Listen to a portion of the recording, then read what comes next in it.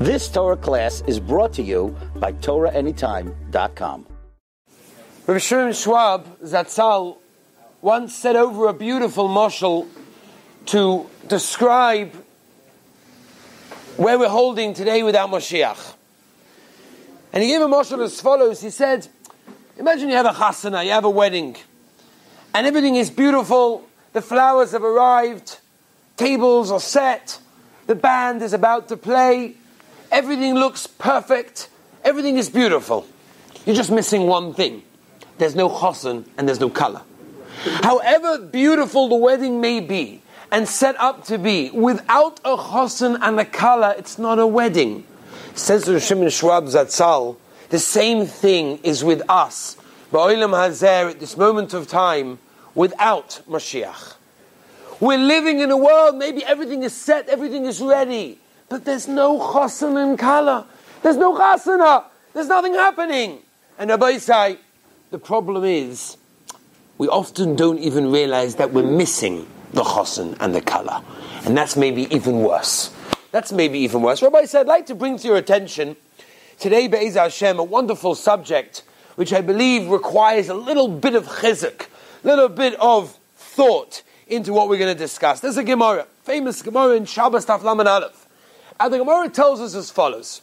We're all going to get up there after 120 years in this world, in trying with Avodah Hashem, Torah, mitzvahs, staying away from Averas, 120 years on this world. And we're going to get up there. And there's going to be a little bit of a test, a little bit of an exam. When we get up there, they're going to ask us a few questions. Right? A few questions. And the Gemara tells us what these questions are. It's actually interesting. The Gemara says there's four questions, right? It's four questions, pretty simple. Four questions. And not only are these only four questions, but um, these questions are answered by either yes or no. Simple. And to make things even better, you're even told the questions before you get there.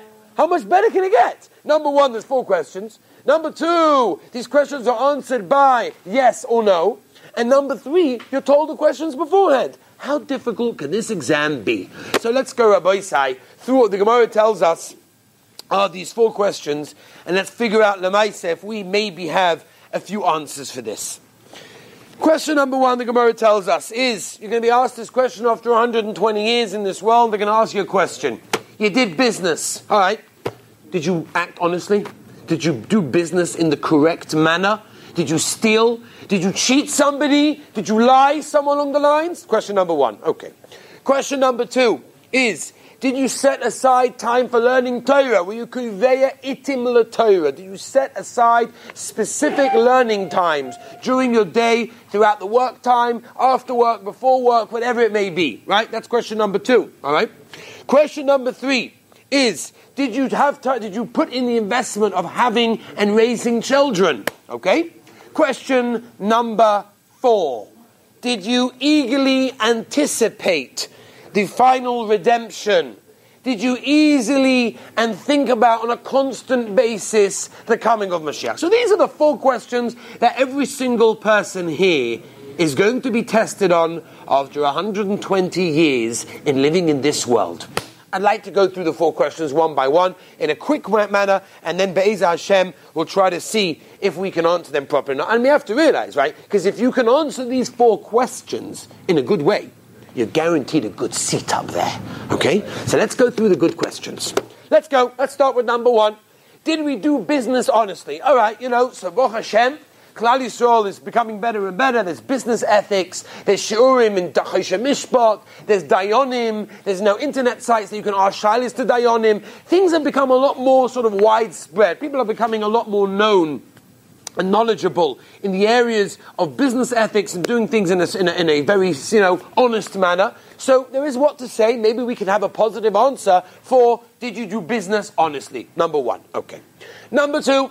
Right? Question number two was what? Question number two. Did you itim Did you set aside learning time? So once again, what, what's, what's, what's, unbelievable? Klal Yisrael is growing and growing. There's Daf Yomi, there's Mishnah Yomi, there's TorahAnytime.com, Baruch Hashem. There's, there's, there's all over the place. There's Shiurim everywhere. Wherever you go, whether it's on your phone, whether it's on the earphones, or MP3, everything. There's Torah everywhere. So You know, we can probably answer, yeah, we probably did have times for set aside, hopefully for learning. Maybe a different time we'll discuss what it means to be Kevei Itin. That Be'ez Hashem is a different day. Question number three.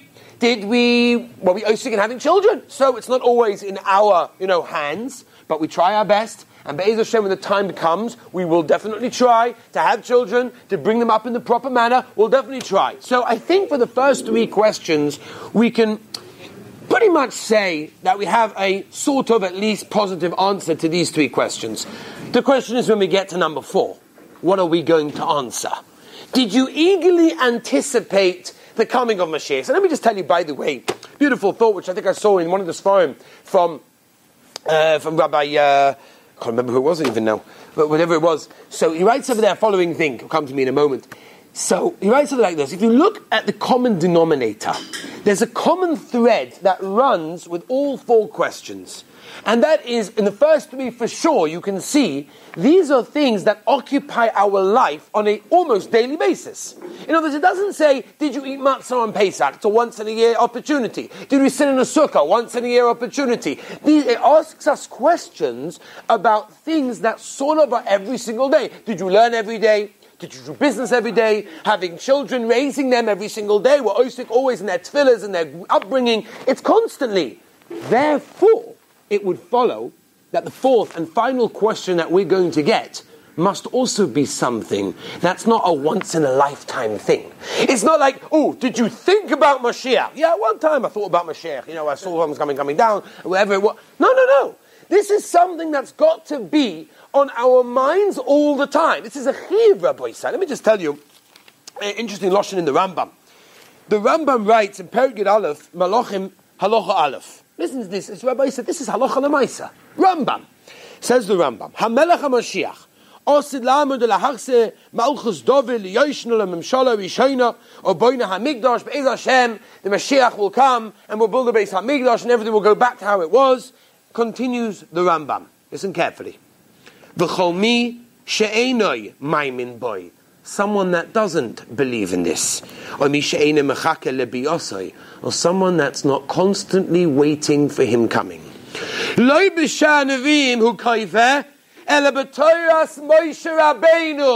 Says the Rambam Halacha every person sitting here does not wake up in the morning and straight after Moida Ani think to themselves, today's the day, Mashiach is coming. Comes to one o'clock, Mincha.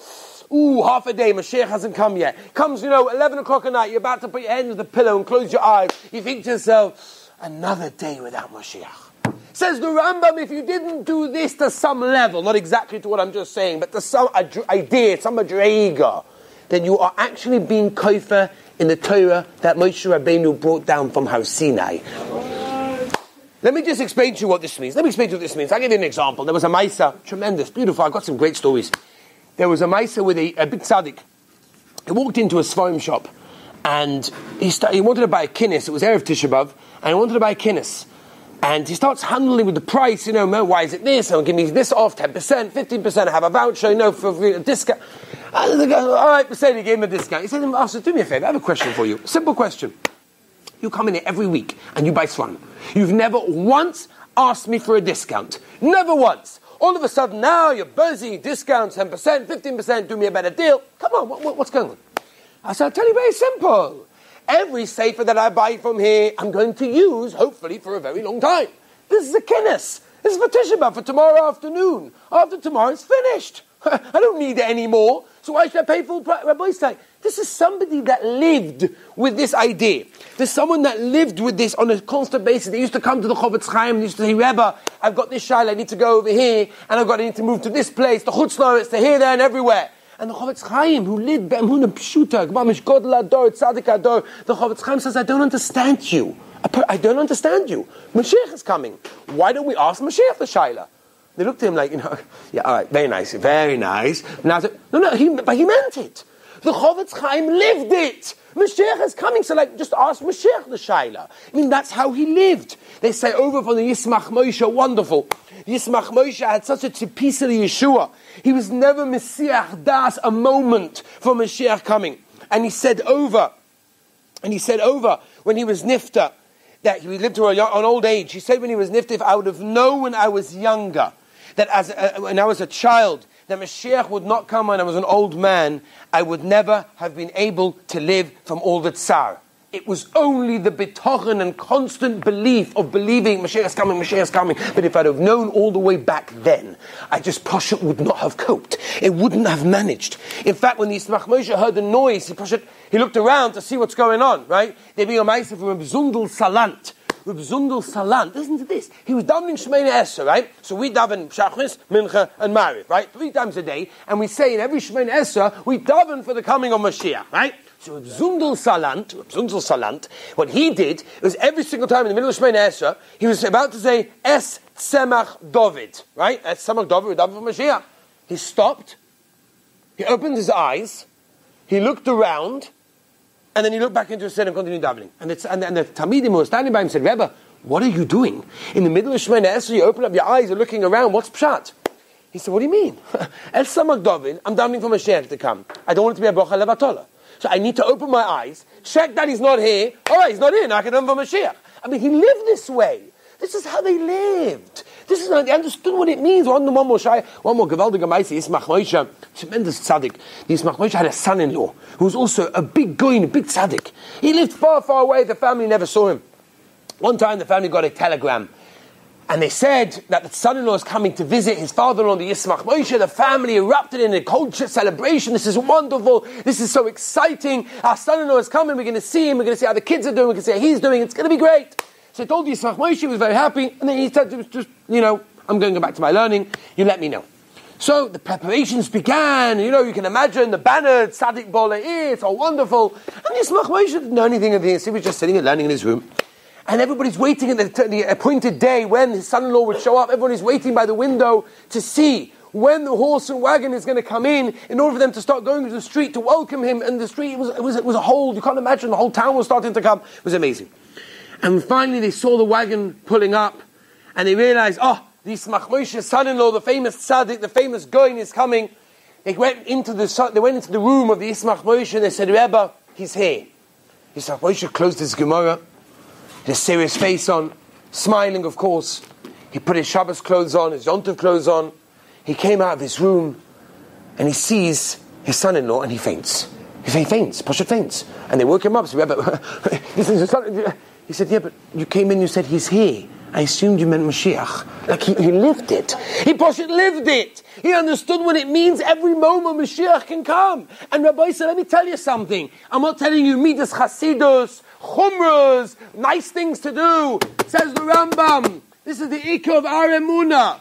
Our emunah is based on this. We have to and we must believe, not just a one-time off thing. You know, everybody here, if I go down the room and ask everybody, you believe in Mashiach? Sure, of course. You know, some people say, just not yet. I'm just doing an extension to my house. So I just need to, you know, sort of finish off the extension, buying a new car. And, I, you know, I, have got, you come, I'm not ready yet. And that's, by the way, some of the problem. If Dessler writes this in Chelik Dalit, he says, you know, one of the problems with Mashiach is we're not, we don't even want Mashiach. Does anybody actually want Mashiach to come? Oh, you do, wonderful. How many, you know, Baruch Hashem, we have, have a group of people over here that talk want Mashiach. But it's not about wanting Mashiach, it's about waiting. You know, somebody told me they're building in this in this in this in this country building is is whew, building is building is building right? That's how it works over here right? So there's something called tofes arba right? I don't exactly what it is but I think it means that the government have to come along they have to do their inspections. After the building is built then they give their ishur they give their you know guarantee their seal whatever it is it's safe you can go in and then they start giving the apartments out to people that bought it so you have people that buy an apartment wait a long time for it to get built once it's built they're all excited it's ready no no You've got to wait till Tofes Arba comes. Because Tofes Arba means that the government have to come in and give their authorization.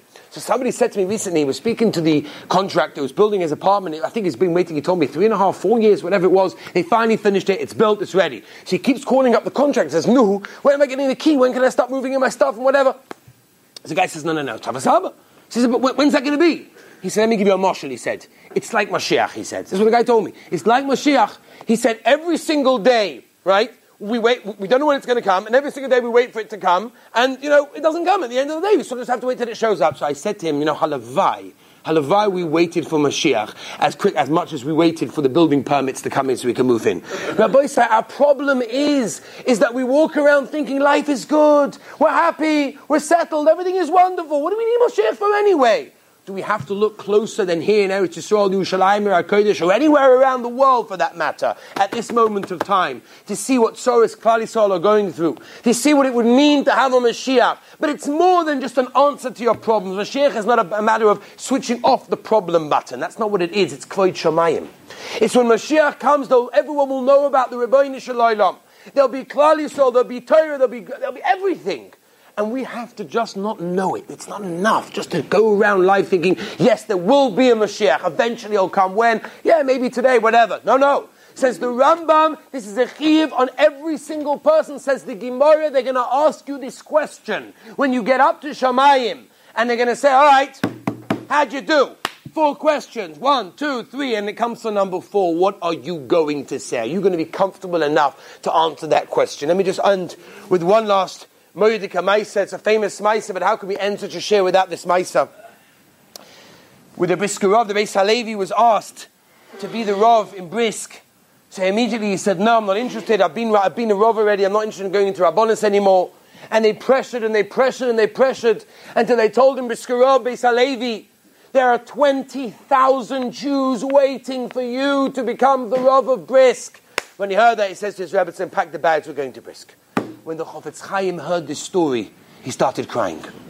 And the Chofetz Chaim said that if the Brisker Rav would go because of 20,000 Yidden, don't you think that the Ribbono Shel Olam would be Mashiach if we would all want Mashiach? If Be'emes, all of us would take want Mashiach to come, and we'd wake up in the morning saying, oh, today Mashiach, we hope Mashiach, we want Mashiach, it's good for us to have Mashiach. Oh, then, Be'ez Hashem, the Ribbono Shel Olam will taka give us Mashiach, we should be Zoicha, taka to fulfill this wonderful halacha and not chas v'sholem to be mishul. So Be'ez Hashem, we have what to answer when we get up there at Friday on Hanukkah. You've just experienced another Torah class brought to you by TorahAnytime.com.